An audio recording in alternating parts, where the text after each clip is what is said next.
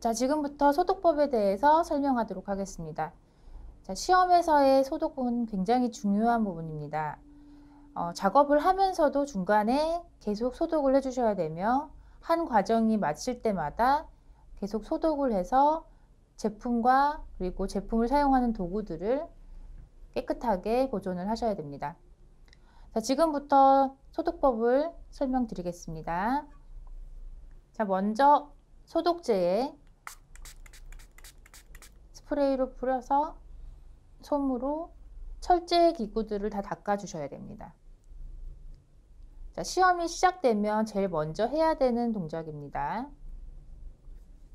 자, 이 과정은 깨끗하게 소독을 하면서 청결을 유지를 시켜주면서 작업을 시작해야 되므로 철제 용기와 금속 도구들을 모두 깨끗하게 정돈을 하셔야 됩니다. 자, 뷰러와 눈썹 칼, 눈썹 가위, 핀셋,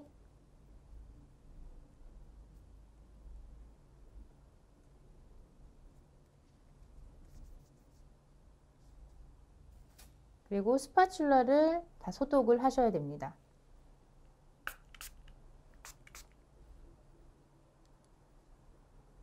전체 소독을 위해서 소독액을 제품에 바로 분사하는 경우도 있지만 어, 소독액이 기구의 도구에 남아있는 경우가 있기 때문에 다시 솜으로 닦아주시는 것이 좋습니다.